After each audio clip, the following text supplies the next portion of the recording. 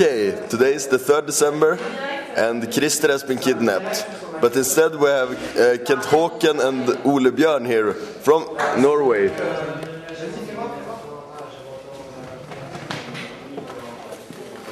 And they are gonna open luck number 3.